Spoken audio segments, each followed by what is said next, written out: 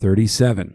How did the details in paragraph 5 about the uneven nature of the flight convey a central idea of the excerpt?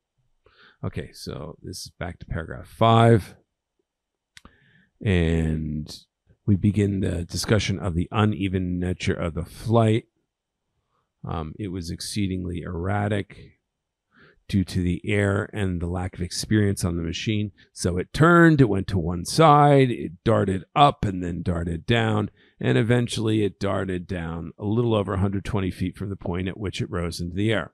So actually, now we have a comparison.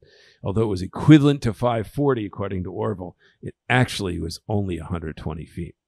Okay.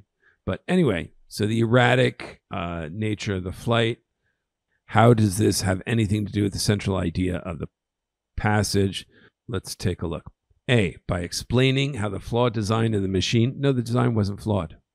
I mean, it was hard to control, but it flew, so it's hard to say it was flawed. A is not correct. B, by indicating that the difficulty in controlling the flight was caused by the rudimentary instruments and the inexperience of the pilot. That's true. I mean, that's factual, right? But how is that conveying a central idea of the excerpt, right? Again, that's a detail in paragraph five. It's not a central idea.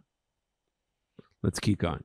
By explaining how the pilot in the plane overcame adverse conditions in order to complete the first piloted flight. That's it, right?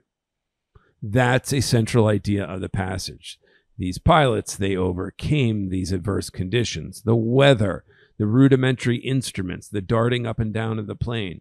But they did it. They completed that first flight. C is the correct answer. Note, it's not a detail, but it is a central idea of the passage and paragraph 5. D, by indicating that the gradual change in wind velocity created an extreme environment in which to maneuver the plane and maintain its flight. So, first of all, there's no gradual change in the wind velocity mentioned here. Okay. It was pretty erratic. Was it perhaps an extreme environment maneuvering the flight? Yes. But again, those are details. They are not answering the question, which is how do these lines in paragraph five also convey a central idea of the excerpt? The correct answer for 37 is C.